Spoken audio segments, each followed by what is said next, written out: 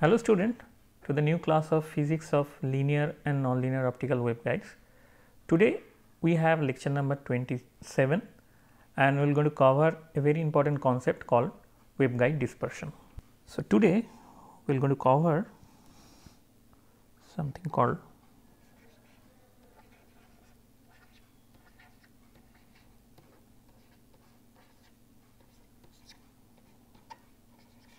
waveguide dispersion.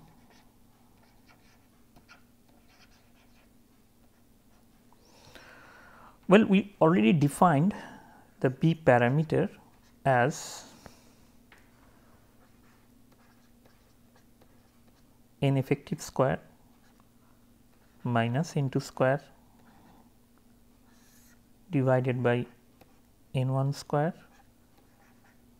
minus n2 square. B is a normalized propagation constant and n effective is this.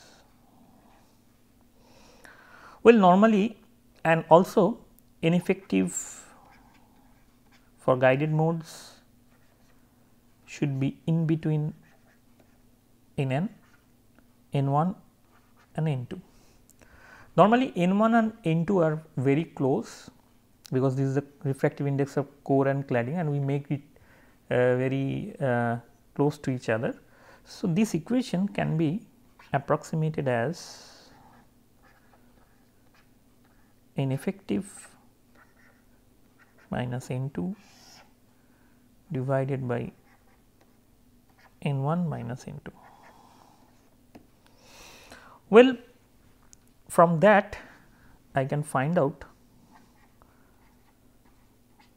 n effective as n2 plus b function of v. In the last class we find that b is a uh, normalized propagation constant and it should be a function of v. With changing v we find that b will going to change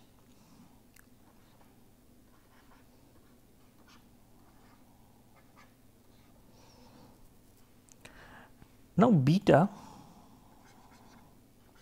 already I defined in terms of n effective it should be n effective multiplied by k0. So, it is eventually k0 multiplied by n2 plus b which is a function of v then n1 minus n2.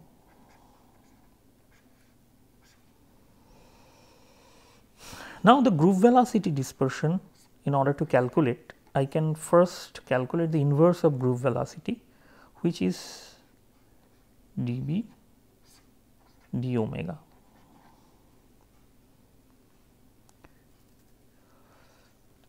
Now, we know k 0 is equal to omega divided by c so, I should have a omega sitting here. So, I, I can write it as 1 by c because the first derivative with that. Then 2 plus whatever the term I have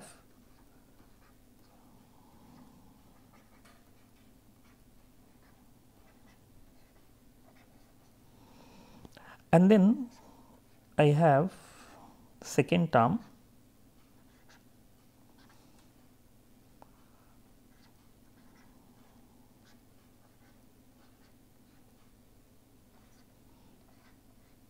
making the derivative with respect to omega. So, I can write it del b del v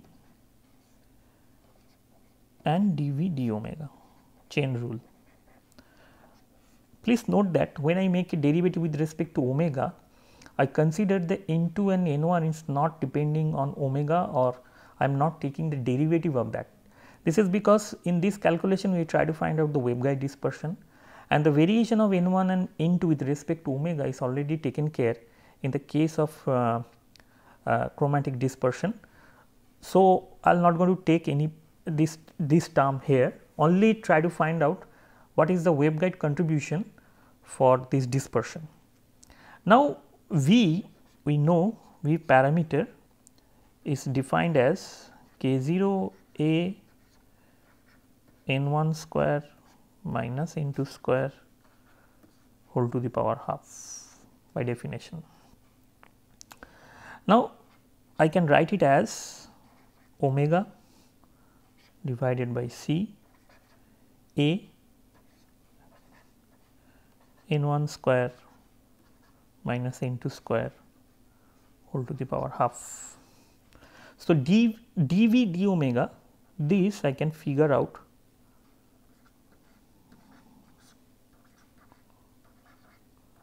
and it turns out to be 1 by c a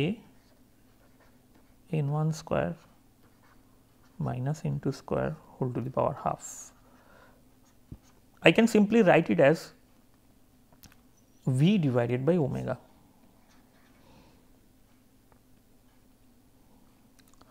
Well, then 1 by V g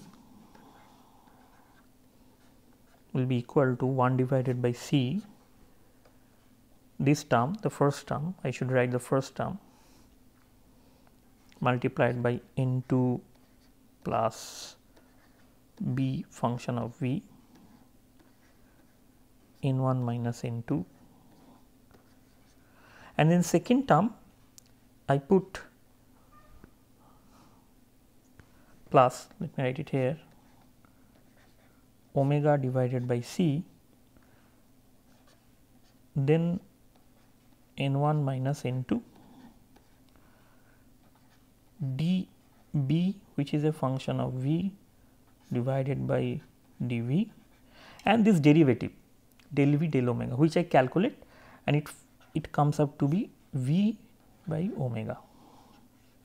So, this omega and this omega will going to cancel out. So, eventually I have 1 by C 2 plus n 1 minus n 2. If I take n 1 minus n 2, then I will find that these things can be written in a compact way and this is del del v of v multiplied by v.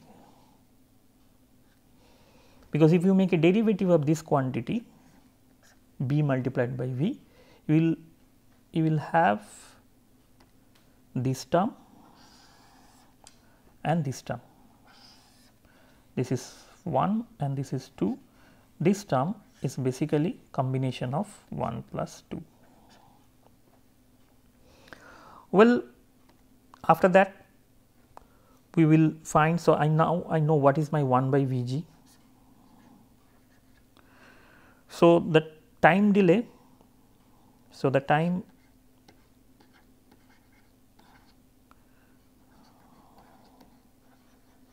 delay which is tau in general defined as L divided by Vg. So, here it should be L divided by C multiplied by N 2 plus N 1 minus N 2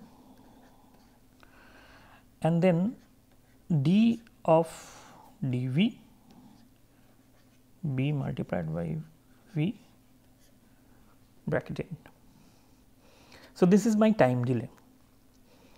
Now, uh, I can uh, slightly modify this expression because we know delta is equal to n 1 minus n 2 because every time it is not I should not write n 1 minus n 2 so, this is square of that and 2 divided by n 1 this is n 1 square this is by definition. So, I can approximate as n 1 minus n 2 divided by n 1 that is my delta. So, I am going to replace this in the next uh, line and then going to find the value of the quantity time delay in terms of delta. So, eventually my tau will be L n 2 divided by C 1 plus I just take N2 common and it should be L into and then I have n 1 divided by n 2 delta and d of dv this quantity. Now, if I want to find out what is the change of this delay with respect to delta that basically gives me the idea of dispersion. So, change of t which is delta tau equal to with respect to the wavelength this calculation we already done in calculating the material dispersion I have to do that. So, this quantity if I make a derivative with respect to lambda for this quantity, you can see that the first in tau the first term is not depend on lambda. I, I already mentioned that I am not considering n as a function of frequency or wavelength here when I calculate the uh, waveguide dispersion. I take account these things in a uh, when I calculate the uh, chromatic dispersion. So, here the first term is a constant and the second term the contribution of the second term I will have the contribution of the second term through this v because v is a function of lambda now. So, I can write it as L n 2 divided by c then whatever I have n 1 n 2 delta and now I have to make a derivative with respect to lambda so, what I do here I make a derivative with respect to v first. So, that I have the double derivative with respect to v then b v and then del v del lambda using the chain rule and finally I have so here I have making a mistake it should be delta lambda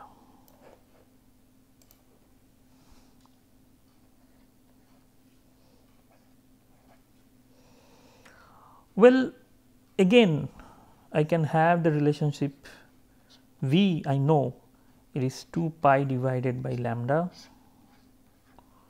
A n 1 square minus n 2 square whole to the power half. So, if I calculate dV d lambda it should be simply minus of 2 pi lambda a n 1 square minus 2 square whole to the power half. I have one lambda here so and put another lambda here it should be 1 by lambda square and then I can write it as minus of v by lambda. So, finally, I, I can put this here and my delta tau becomes my uh, delta tau becomes L n 1 divided by C. Then delta. This double derivative should there as usual.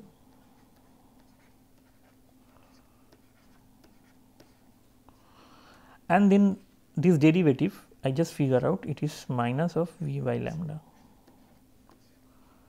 and delta lambda. So, this is my delta tau. Now, once we know my delta tau, I can define the waveguide dispersion. So, the waveguide dispersion coefficient, the wave guide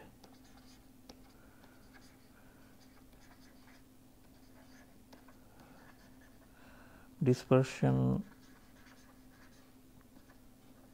coefficient I write it as dw. For material dispersion we defined as dm, here we are going to define as dw which is the same uh, definition that rate change of tau with respect to the change of wavelength with unit distance. So, this quantity eventually minus of n 1 then V divided by C lambda and then I have a delta and I have d2 dv square and bv. So, this is basically the mathematical form of the waveguide dispersion. And in order to find out what is the waveguide dispersion, the important thing that we now need to calculate is this quantity. So, this is now become very important this derivative.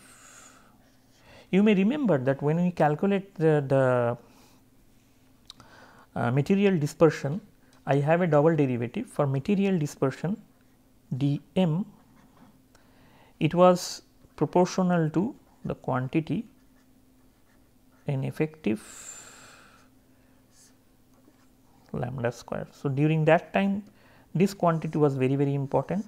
Here also we have a similar kind of quantity, but in terms of B and V and now I need to find out what is the variation of this quantity B multiplied by V as a function of V and make a double derivative of that. That basically gives me that what is the value of uh, the waveguide dispersion.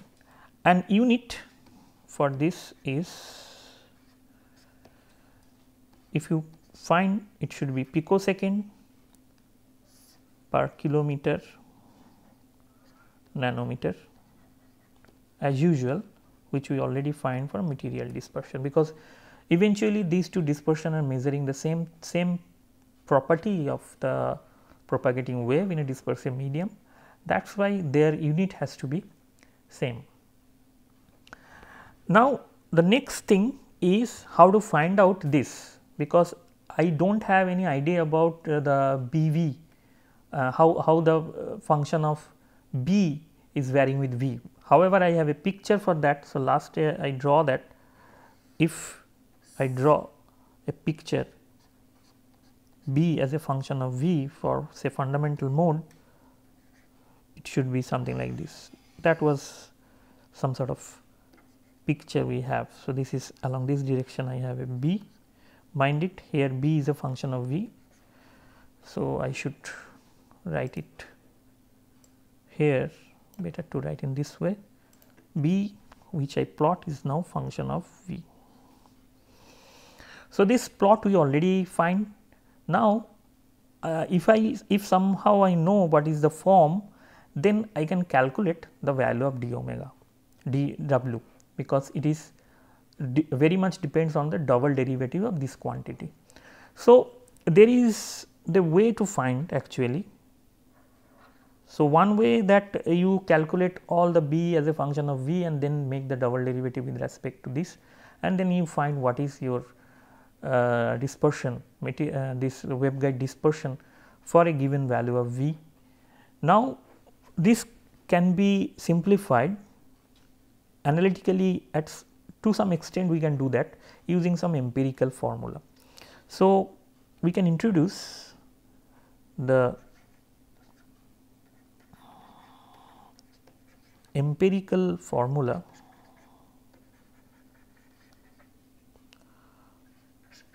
for B. This is for say step index fiber, true for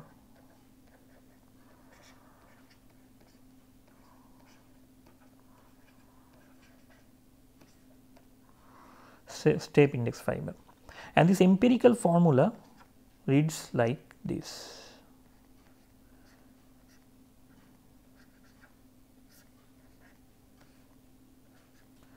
Where A, B are constant and the value is precisely given as 1.1428 and B is 0.996. These are the two constant value of the two constant and b is the the form of b as a function of v is given in an explicit manner so that I can do the derivative. By the way, this empirical formula is not true for all the v, there is a range. So, the range of v is this. at this range the empirical formula works well. So, this is basically the range of V parameter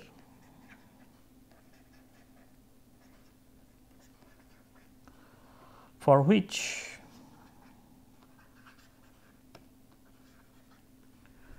the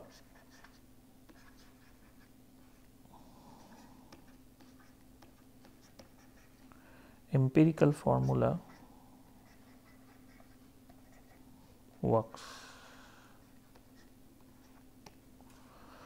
So, this is a range of V for which the empirical formula works. So, we need to keep these in our mind that it should not work for all the range of V. But anyway, uh, we can now with this range what we can do we can able to find out the value of the dispersion coefficient because now I know these functional uh, what is the functional form. So, if I calculate this quantity del del v so as a function of this so eventually I will calculate d the function of v multiplied by v b is a function of v is given it is a minus p divided by v and then the whole square of that. So, it is simply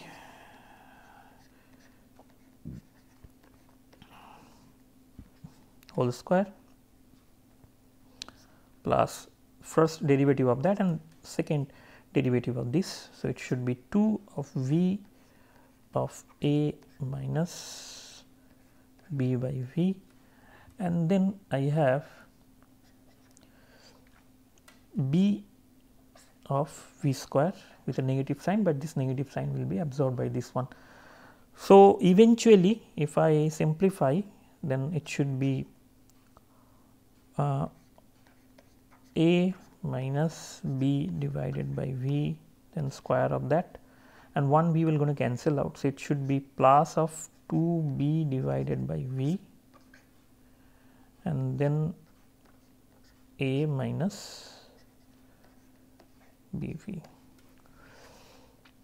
If I take a minus b v common uh, a minus b by v common then I should have a minus b by v plus 2 b by v.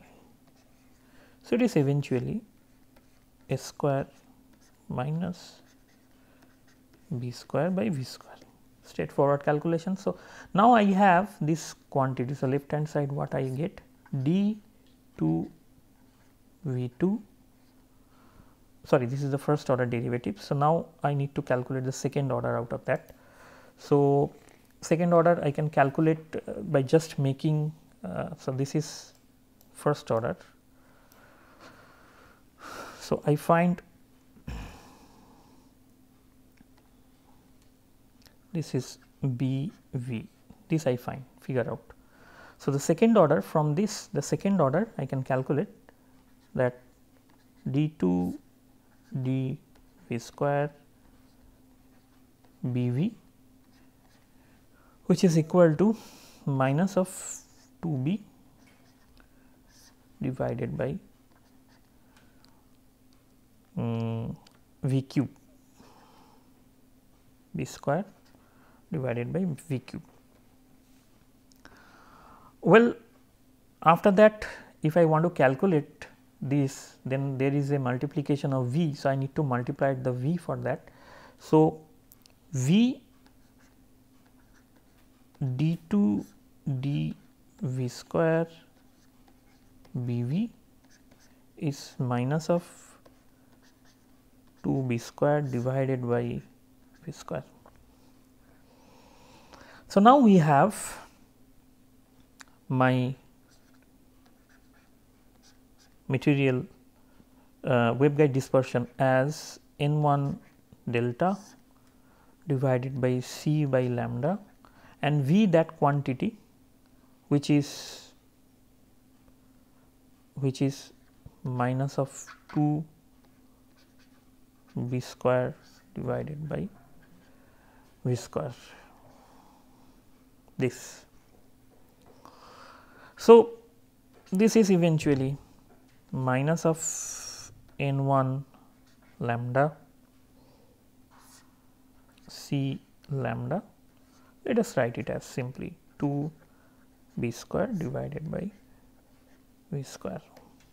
So, this is my d omega for this particular range of v. So, for range of v, so I already mentioned that the range of v is 1.5 to 2.5 for this range at least this is my 1.5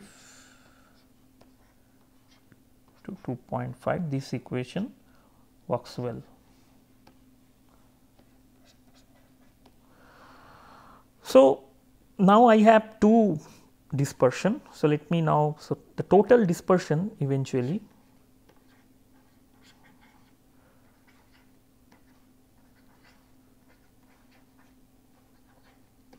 if somebody want to calculate the total dispersion, I can write D as a total dispersion.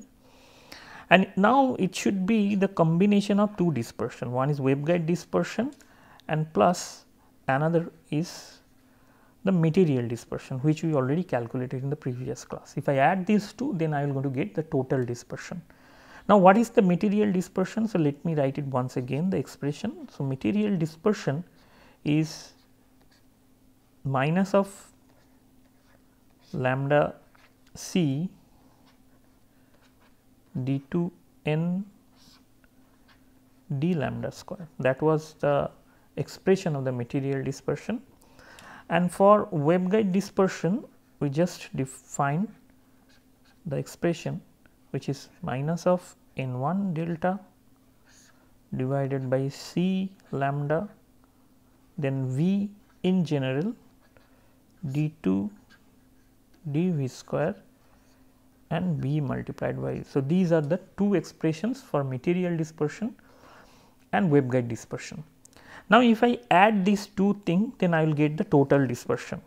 So, what happened that I now plot the total dispersion d. So, the material dispersion normally follows the curve like this. So, some point it has a 0 and it is basically the way we calculate the material dispersion is something like this. So, along this direction I have a lambda. On the other hand, the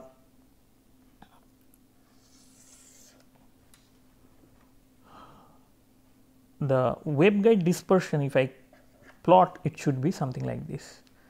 Now, the total dispersion the total dispersion may, let us make in a different color is the combination of these two. So, I should have something like this. So, this is my total dispersion. This is the total dispersion D which is the combination of dm plus dw and we can see that by changing if the material is same. So, material dispersion is not going to change, but changing the geometry of the waveguide we can manipulate the total dispersion. For example, here this 0 uh, wavelength can be shifted from this point to this point by just changing the waveguide geometry and if I change the waveguide geometry, if I modify the waveguide geometry, then what happened that we can uh, very nicely modify the dispersion and I can have my required dispersion, total dispersion as per my choice. So, this is a handy uh, uh, technique to properly find uh, the required dispersion.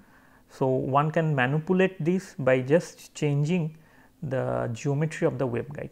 So, with this note today I like to conclude. So, in the next class uh, we will learn more about uh, the modes. So, thank you for your attention and see you in the next class.